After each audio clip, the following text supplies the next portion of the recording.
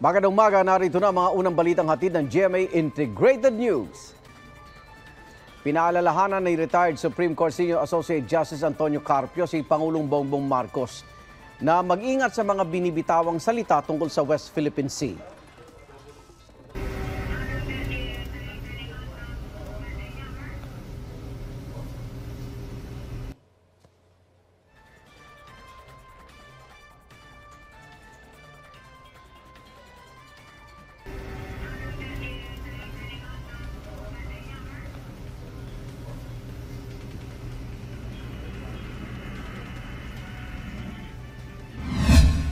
We still have to keep communicating with the Chinese government. Ang eh, siyempre position ng China, sinasabi nila kaming may-ari nito eh.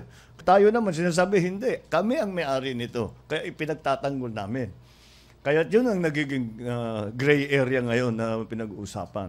Walang gray area kasi may ruling na tayo eh. Under UNCLOS, only the coastal state, only the Philippines can put up a structure there. Mhm. And no country can stop us from putting a structure there. China has no right whatsoever to stop us kasi that's our exclusive economic zone. Tinalakay muli sa Senado ang panukalang mandatory military service. Sa gitna po ito ng panibagong pambubuli ng China Coast Guard sa mga barko ng Pilipinas sa Ayungin Shoal. Narito po ang unang balita ni Dano Tingkungko. Sa gitna ng panibagong insidente ng pambobomba ng tubig ng Chinese Coast Guard sa resupply mission sa BRP Sierra Madre, Pinapalis po tayo ng ating kapitbahay sa sarili nating bakuran. Hindi lang tayo basta sinabihan o binantahan, kundi binomba pa ng tubig. muling binuhay ng Senado ang pagtalakay sa panukalang mandatory military service. military service that would be obligatory for able-bodied citizens, uh, Mr. Chairman. So uh, this this should be totally pursued to its conclusion. Sa konstitusyon din po sinasabi doon na malinaw na malinaw ng ating mga ah, tao, mga citizen natin. Kailangan sa kahit anong oras ay handa na ipagtanggol ang ating bansa. Sana yung patungkol po dyan sa usapin ng martial law na mailagay yung imminent danger uli at ito pong military service ay maganap na. Panukala naman ng iba, buhayin ang kakayahan ng bansa na gumawa ng sariling armas at bala. Wala tayong makukunan ng bala sa ibang bansa, kundi sa atin kung meron tayong sariling ah, paggawaan. Dapat dandahan nating babalik Sabi ng Senate President sa isang privilege speech, ang insidente ay patunay sa merito ng resolusyon ng Senado para igiit ang karapatan ng Pilipinas sa West Philippine Sea. Bubulahin tayo nila na kaibigan daw sila natin. Tapos sa isang iglap, bubombahin ng tubig ang ating mga barko. How can they convince us that they're sincere one day, and the next day, one day, and they shower a former president of ours with praises and assurances in Beijing. And shortly after, the next day, fire water cannons on our ships. May mungkahi ring iban sa bansa ang isang Chinese state-owned company. May kasaysayan nito ng pakikipagsabuatan sa Chinese Maritime Militia kasama sa mga nagtayo ng artificial militarized islands sa ating karagatan. At ikansela ang kontrata sa isang China telco na magtayo raw ng cell tower sa Camp Aguinaldo. This is one way to show this Chinese uh, government, Chinese, na eh, gina, binubuli nyo kami, eh, ito yung kapalit. Sa Kamara naman may maghahain ng resolusyon para iparecall ang ambassador ng Pilipinas sa Beijing at i-downgrade ang embahada ng Pilipinas sa Beijing bilang protesta. Ito ang unang balita, Dano Tingkungko para sa GMA Integrated News. Nagtagisan sa bilis sa mga kalabaw sa Bula, Camarines Sur. Limang kalabaw ang isinali sa karera sa Barangay Santo Domingo. Sa kayang kanilang mga tagapag-alaga, nagsilbing racetrack nila ang palayan. Nakatanggap ng pera bilang premyo ang nanalo. Ginawa ang karera sa bisperas ng kapistahan ng barangay. Ayon sa organizer, pagbibigay halaga ito sa mga kalabaw dahil sa malaking tulong nito sa mga magsasaka. Mga kapuso, narito pa rin po tayo ngayon sa National Headquarters ng Philippine Coast Guard dito sa Maynila. Mainit pa rin po kasi ang issue tungkol nga po sa pambobomba ng tubig ng China Coast Guard sa mga barko ng ah, Pilipinas ano, na nangyari kamakailan lamang. At ah, kaugnay nga po ng ah, insidenteng ito, ay makakausap po natin si Philippine Coast Guard spokesperson for the West Philippine Sea, Commodore J. Tariela. Magandang umaga po, Commodore J. Good morning, Maurice. Alright, sir, maraming maraming pong salamat sa pagpapaunlak niyo po sa amin ngayong umaga po. No? Una po sa lahat, ah, tanungin ko lang po, gaano po ba kadelikado yung maneuver na ginawa po ng China Coast Guard na dumaan sa harapan mismo ng ah, barko ng Pilipinas? Ano po ba ang mga maritime rules natin pagdating sa close proximity ng mga barko? Well, una sa lahat, no, ang ginawang uh, dangerous maneuver ng China Coast Guard kung saan mas malaking barko, almost triple the size ng 44-meter vessel natin, ay uh, sadyang mapanganib. No? Um, as you can see dun sa mga videos na nirelease ko kagabi, um, super close yan na, na less than uh, 10 meters na lang naging layo. So the tendency is uh, for the Philippine Coast Guard to uh, ram the China Coast Guard vessel.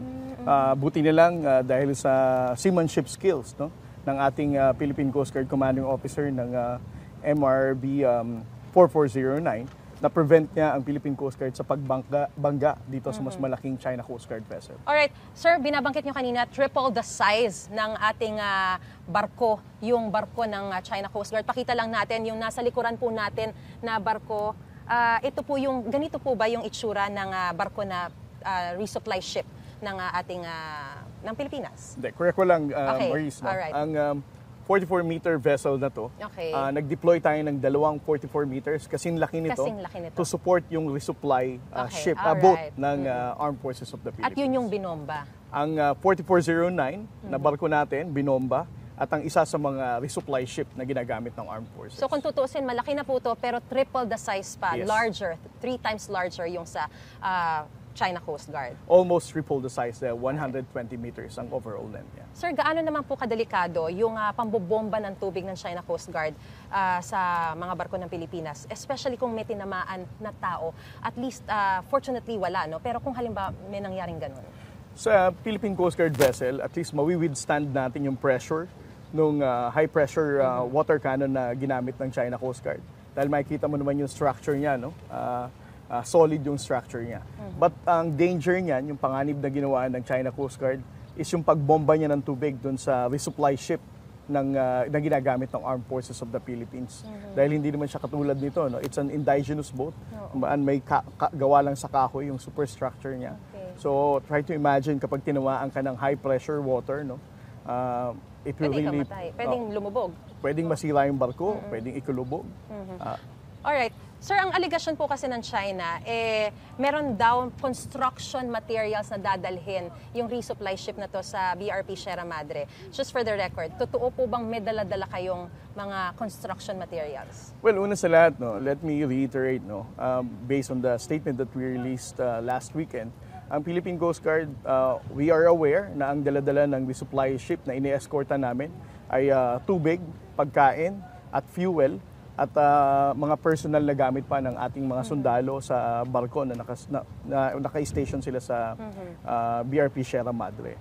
As to the construction supplies, um, we are not, um, I think um, yun lang ang mga supplies na laman ng uh, supply ship natin.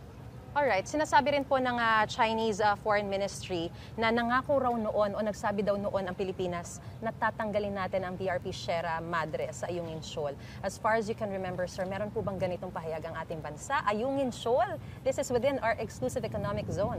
Well, Miss Maurice, no, uh, hindi ko pa ma, as far as I'm concerned, no, hindi ko ma-recall na ang uh, ating national government made a promise na pap- natatanggalin natin to.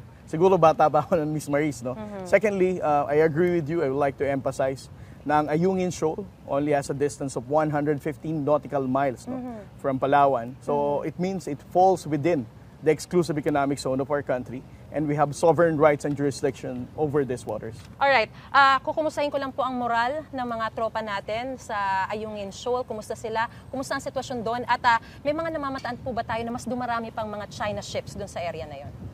Well, imme- immediately after we um, pulled out, no, nung umalis na ang dalawang Chi- ah, Philippine Coast Guard vessel at ang ah, supply ships na ginamit natin for resupply, unti-unti namang umalis na yung China Coast Guard vessels. Uh, but of course, there are still remaining uh, China Coast Guard vessels dun sa area. Uh, as far as the moral ng ating mga tao sa mga ating kasandalahan no, sa BRP Sierra Madre na natili itong mataas.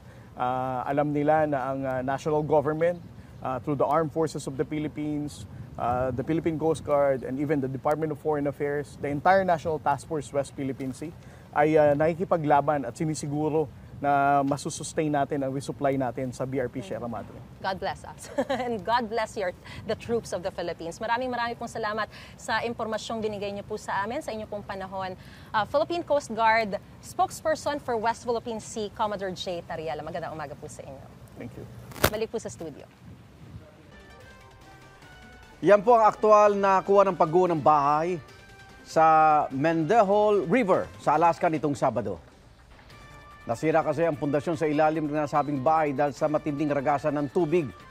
Umapaw na sabing ilog matapos masira ang isang glacial dam dahil numipis at natunaw ang yelo dahil sa sobrang init ng panahon. Agad dinilikas ang ilang residente sa isang kalye doon. Abiso sa mga motorista, simula ngayong araw magbabayad na ang mga daraan ng NLEX Caloocan, Espanya. May unang balita live si Darling Kai. Darlene. Igan, mahigit apat na buwang naging libre yung pagdaan dito sa NLEX XLEX Connector Road Project pero simula ngayong araw naniningil na ng toll fee rito. Itong NLEX SLEX Connector Road Project ang nagdudugtong sa Espanya, Maynila at C3 Road sa Caloocan. Ang dating 30 minutong biyahe, 5 hanggang 7 minuto na lang ngayon. March 29 pa binuksan ito sa publiko. Mula noon, nasa 14,000 sasakyan ang dumaraan dito araw-araw ayon sa Department of Transportation. Libre noong una, pero kamakailan lang, inaprobahan na ng Toll Regulatory Board ang paniningil ng toll fee rito. Kaya mula ngayong araw, magbabayad ng 86 hanggang 302 pesos ang mga sasakyang daraan dito. Ito rin daw ang kauna-unahang toll road na nagpapatupad ng 24-7 na barrier-free electronic toll collection system. Ayon po yan sa DOTR. Kaya tuwing daraan ng mga motorista sa toll gate, hindi na nila kailangang tumigil dahil wala ng barrier. Kailangan na lang magmenor kaya mas mabilis ang biyahe. Igan itong kinatatayuan ko yung unang section ng Connector Road Project. Yung section 2 ay inaasahan daw na magtatapos sa fourth quarter ng 2023. Ito naman yung magkoconnect ng Espanya sa Skyway Stage 3. Ito ang unang balita sa Maynila. Ako po si Darlene Kai para sa GMA Integrated News. Apat na piso kada litro ang taas presyo sa diesel ngayong araw, pinakamataas ngayong taon. Ikalimang sunod na linggo na po ang taas presyo sa diesel at kerosene. Ikaapat naman para sa gasolina. Kaugnay niyan, makausap natin si Atty. Rino Abad, ang Direktor ng Oil Industry Management Bureau ng Department of Energy. Magandang umaga po, Direktor. Ah, ma- Sir Arnold, magandang umaga. Magandang umaga din sa ating mga kababayan po. Opo. Wala na po bang ihigpit na sindro ng mga driver at motorista? Hanggang kailan po ba natin mararanasan ng oil price shock? Ibig sabihin, pataas ba talaga ang trend sa mga susunod pang mga linggo? Ah, Sir Arnold, ano, um, hindi ko masabi ngayon. Ah, unang trading ah, day ah, kahapon, Opo. ah, lumalabas na bumababa ng konti, bahagya ang diesel at kerosene. Opo. Ah, doon nga lang sa gasolina, medyo pataas pa ng konti. So, kailangan mo mabantayan ngayong week kung talagang pababa. But ah, please note na itong sitwasyon natin kung anong dahilan ng pag pag ah, i-increase ng mga prices Opo. ay dahil nga ito sa nangyayaring pagbabawas ng Saudi at ah, ngayong kasama ni sa Russia ah, na effective ngayong buwan. So tapos na ang last month, itinutuloy po yan ng Saudi at saka dumagdag pa si Russia ngayong buwan. So nandyan ang threat ano na magkaroon pa rin ng supply, tightness ng supply. Opo. Um, but at the same time, tinitingnan din natin yung ah, daily trading price kasi nga ah, alam naman natin historically na kahit ganito po ang sitwasyon, hindi consistent ang price, volatile pa rin. Ah, marami sigurong anggulo na yung mga buyer ay umaatras. Mhm. Short. Ah, naglilimit din at or nakikipag-negotiate kahit ah, pag sobra na pong mataas. Ano, Ah, ano po ba, ano po ba dahilan bakit nag-production cut yung Saudi tapos sumunod pa Russia? Ah, well, ang lumalabas kasi ng report nung Mayo, April, May at saka June, nagka, kaya mayroon tayong manakanakang mga rollback, ah, Sir Arnold, kasi merong nagkakaroon ng oversupply. In fact, nung June, nung pag tiningnan mo ang McKinsey report, may oversupply ng 1 million. Kaya nung July, alam naman siguro ni OPEC yan, kaya tinatanggal nila yung 1 million. Nag, ang, ang masama lang, ngayong August, nagdagdag pa ng commitment si Russia ng another 300,000 to 500,000 barrels na reduction.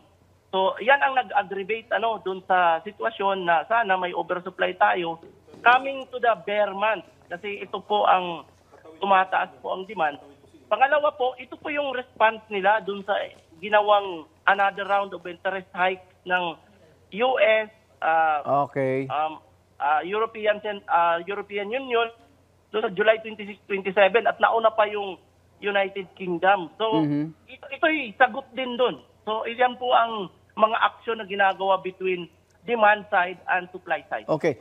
May, may mga panawagan po, dagdag pasahe. Ano. Ito po bang ah, price level natin ngayon? Pinakamataas na po ba ito kumpara sa mga nagdaang taon? Ah, well, um, when you say last year na lang po, nung June, kasagsagan nung effect ng Russia-Ukraine crisis, ah, umaabot na po tayo noon ng ah, ang gasoline noon 90, ah, ang diesel noon almost the Oh, same, okay. 90 pesos. So, ah, ang level po natin na Sir Arnold ngayon, ang gasolina po natin nasa 69 to 72.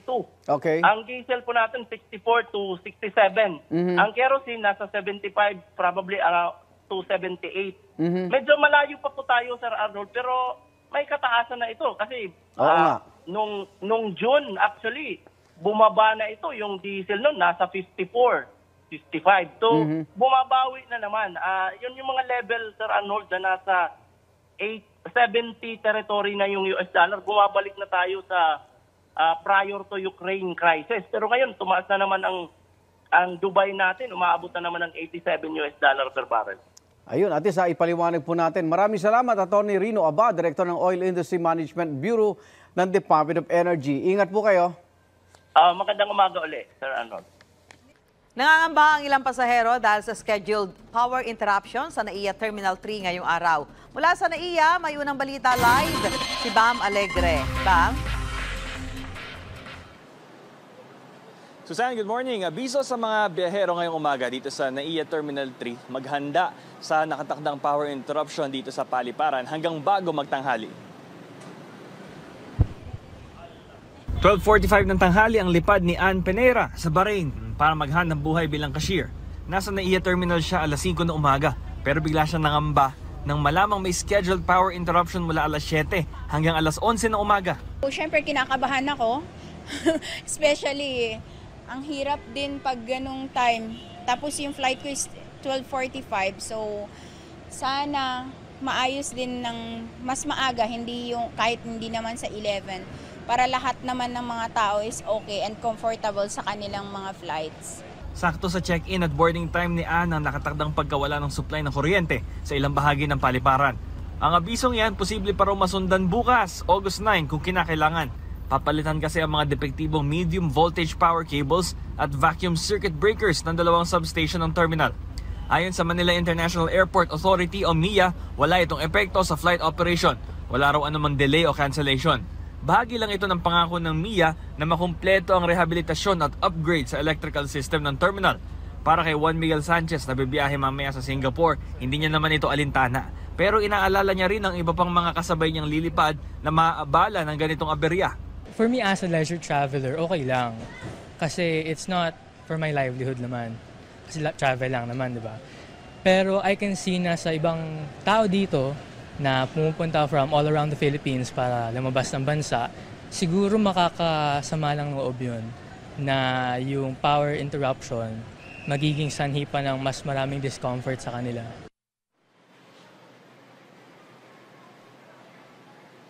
Susan, mula rito sa ating vantage point dito sa may ah, arrival area, departure area, ay ah, meron pa rin kuryente yung ilang mga check-in counter na malapit sa atin. At ah, dito sa ating likuran, na walang pila dito sa mga entrance gate. Di katulad kanina nung rush hour around 5 to 6 a.m. na marami talagang dagsa ng mga pasahero. Ito ang latest mula rito sa NAIA Terminal 3. Bam Alegre para sa GMA Integrated News. Magsasagwa ang COMELEC ng pilot testing ng automated election sa isang paaralan sa Quezon City. May unang balita live, si James Agustin. James! Susan, good morning. Nasa isang daang botante yung inaasahan na makikiisa sa mock elections ng Barangay and Sangguniang Kabataan Elections. Dito po yan sa Pasong Tamo Elementary School ngayong umaga. May voters assistance desk na gagabay sa mga botante. Tatlong classroom naman ang gagamitin sa mock elections. Isa ay mismong precinct kung saan nakahanda ng vote counting machine o VCM. Ang isa ay emergency accessible polling place kung saan boboto ang mga senior citizens, persons with disabilities at heavily pregnant women. Isang classroom naman ang nakalaan para sa waiting area. Ang mga guro na magsisilbing electoral board na kinabibilangan ng chairperson, poll clerk at member ay nakahanda na rin. Nagsimula ng mock elections sa alas 7 ngayong umaga at tatagal hanggang mamayang alas 10 ng umaga. Sa covered court naman isasagawa ang canvassing. May mga inatawan din ng iba't ibang grupo tu- para mag-obserba tulad na lamang ng Lente, NAMFREL at PPCRB. Isa itong barangay Pasong Tamo sa tatlong areas kung saan may pilot testing ng automated barangay at Sangguniang Kabataan Elections sa October 30. Pero manual pa rin ang magiging sistema ng botohan sa ibang lugar. Samantala Susan, ito nakikita nyo dito uh, sa covered court ng Pasong Tamo Elementary School ngayon ay nagsisidatingan na po ngayon yung ilan doon sa mga botante pero kaunti lamang po yung mga nakita natin. Yan yung ang sasalubong sa kanila ay etong Voters Assistance Desk. Pagkatapos po niyan, idiretso na sila doon sa waiting area at katabi lamang niyon yung classroom kung saan mismo boboto etong mga mga makikiisa sa mock elections. At dito naman po sa covered court, kung nasaan tayo ngayon, dito mangyayari yung canvassing mamayang alas 10 ng umaga. Yan ang unang balita mula rito sa Quezon City. Ako po si James Agustin para sa GMA Integrated News. The wait is over para sa I Bardo know. fans! May video sneak peek na ng upcoming remake na magiging Sino Ka Man na pinagbibidahan, pinagbibidahan ni na Barbie Fortesa at David Licauco. Malanight in shining armor ang eksena ng karakter ni David na si Carding sa first meeting nila ni Monique na gagampanan ni Barbie. Sinalo niya si Monique matapos silang magkabanggaan sa dance floor. Ay, Oh, lagkit naman ang tingin yes, niya. I know. Kita rin ang pagkakaiba sa personality nila. May pagkaseryoso si Carding habang carele- carefree naman si Monique. Careless pwede rin. Oh, pwede rin. Patikim pa lang yan pero nag-uumapaw na ang chemistry ng dalawa. At kaabang-abang ang baliktambala ni na Barbie at David pagkatapos silang magpakilig bilang Cly at Fidel sa Kapuso Historical Fantasy Series na Maria Clara at Ibarra. Iko-call ko na magiging hit to. Ah. Samantala, P-pop group SB19 gumagawa ng ingay sa international scene.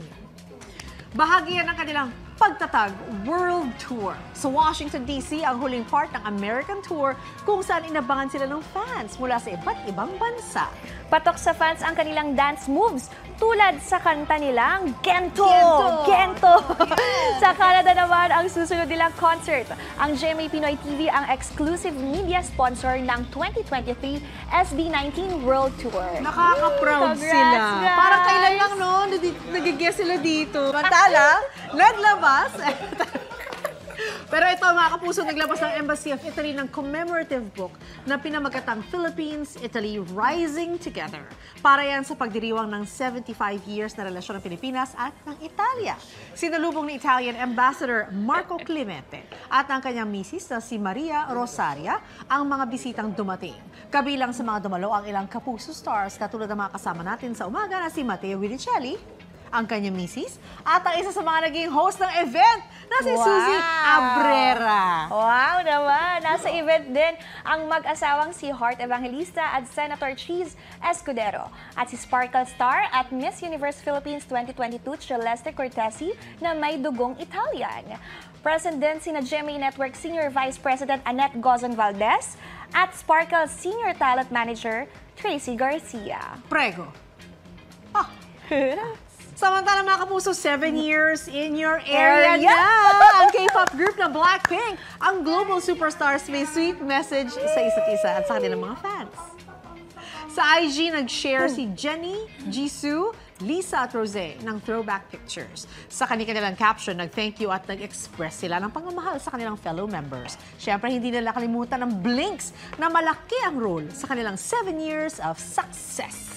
2016 nang mag-debut ang quartet at kabi-kabilang hits na ang na-release nila gaya ng How You Like That, Bumbaya at Pink Venom. Successful din ang solo music releases nilang apat. Ah, happy Sobrang anniversary, galing nilang guys! apat. I'm Yeah. a blink. Yeah. Dumating na sa Pilipinas si Philam basketball player Jordan Clarkson. Narito po siya para maglaro sa Gilas, Pilipinas sa 2023 FIBA World Cup. Nakasabay niya sa flight si Miss Universe Philippines 2023 Michelle D. Magsisimula ang FIBA World Cup sa August 25. Gaganapin ang torneo sa Pilipinas, Japan at Indonesia. Nauna nang sinabi ni Clarkson na excited na siyang maglaro para sa Gilas. Namayapa na po si dating DILG Undersecretary Martin Dino. Kinumpirma yan ang kanyang anak na si Lisa Dino Segura sa social media.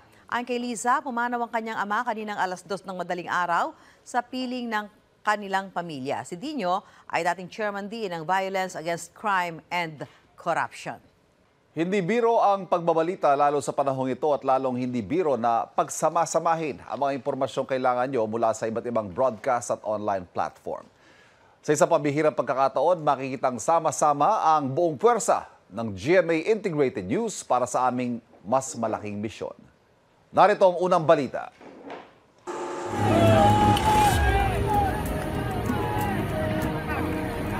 Sa gitna man ng sakuna, kalamidad, dilubyo man,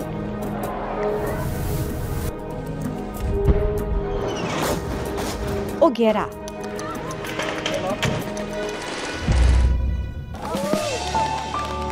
Kasama nyo ang GMA Integrated News sa anumang hamon ng buhay.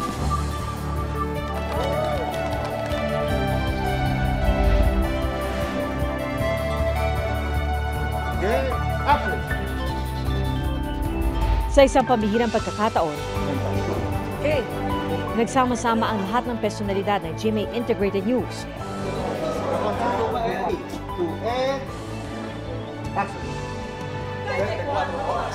mula sa telebisyon, Saksi! Rolling. 3, 2, radyo, Super Radio, DCWB. online, regional TV, mula sa Maynila hanggang sa mga probinsya. Sa likod at sa harap ng kamera. Sa pagkikipagtulungan ng GMA Post-Production Department at ng GMA Program Support Department. The reason why it's big and it's kinda hard to mount dahil lahat ng anchors present. Lahat ng reporters present. Napakasimpleng shot.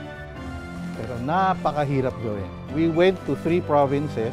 Ah, hinatak natin lahat ng mga reporters, lahat ng mga radio ah, reporters and radio anchors, and yung anchors ng bawat regional stations. Pinagsama-sama natin doon. This was a massive production endeavor uh, involving many departments in the network. Um, we had to time everything from the logistics uh, to the actual setup and the actual shoot. Um, lahat yan uh, tinime natin para uh, hindi ma-hamper yung news operations. This was also fun to do kasi ito yung first time after the pandemic na nagkasama-sama lahat ng anchors, lahat ng reporters in one studio. Mula sa mga pinagkakatiwalaan niyong personalidad sa telebisyon, sa patuloy na lumalaking bilang ng regional stations sa buong bansa. Gayon din ang ating Super Radio DZWB. Kabilang na ang ating Super Radio stations sa mga probinsya. At mas pinalakas na GMA News Online. Patuloy namin pinapalawak at mas pinaiigting pa ang paghahatid ng dekalidad na serbisyo. Tapat at mga asahan mula sa pinagsanib na pwersa ng GMA Integrated News. As GMA Post Production with its full arsenal of techno-creative and technical services, we fully support the bigger mission and vision of GMA Integrated News. We provided our best people, our state-of-the-art technical resources covering production, video editing, music creation, sound design, visual effects, and color grading for this major undertaking. Nagsimula lang yan with an exchange of ideas with OBA. Now, nandito na tayo. We're launching the GMA Integrated News Omnibus Plan. Being the most trusted news organization in the Philippines is a great responsibility. The multi-platform campaign of GMA Integrated News, which is Mas Malaking Misyon, Mas Malawak na Paglilingkod sa Bayan, strengthens our commitment in embracing a bigger purpose to bring fair, balanced, and accurate news to a much broader audience as the news authority of the Filipino. Sa pagbubukas ng bagong kabanata, makakaasa kayong tutugunan namin ang mas malaking misyon, mas malawak na paglilingkod sa bayan. Kami, ang inyong GMA Integrated News. Ang News Authority ng Pilipinas. Igan, mauna ka sa mga balita. Mag-subscribe sa GMA Integrated News sa YouTube. Sa mga kapuso abroad, subaybayan nyo kami sa GMA Pinoy TV at sa www.gmanews.tv.